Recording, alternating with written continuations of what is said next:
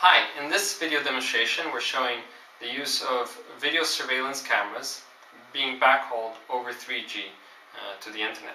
And what we have here is the DOVADO UMR. And likewise you can have the DOVADO 3GN. Doesn't matter, they both support USB modems that connect you to a 3G mobile broadband network. And in this demonstration we have the Nokia CS15 modem, which is a HSPA Plus device. And there are several HSPA Plus modems out on the global market today from different brands. And they support, uh, what's common about them is that they support very high speed uplink feeds. And that's what you need to do uh, things like video surveillance.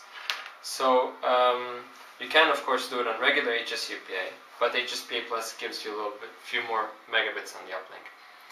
Connected over Wi-Fi, you can have your uh, video cameras set up like that, or you can also do it through the LAN ports. Uh, most wireless LAN cameras support LAN have LAN ports as well. So if you look here on your right, you'll find the Y-Cam, which is a model that supports night vision.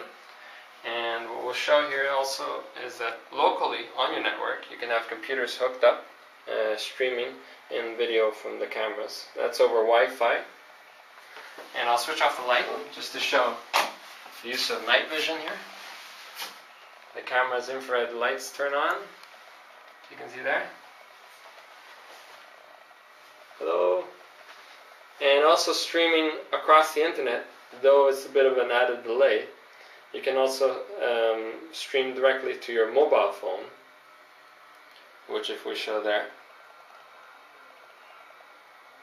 and that's going on the 3G side. So that's not local. That's that's across the internet.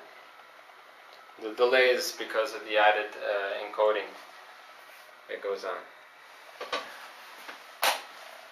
And so this is a very viable solution to put up uh, anywhere where you don't have a fixed uh, broadband connection. So you can put it up at a at a convention or any place where you have to have to be very quick in, in, in setting up a surveillance network. Thank you.